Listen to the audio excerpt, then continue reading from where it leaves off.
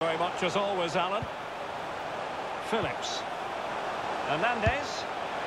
Oh, goodness gracious me! It's a special, special goal from miles out.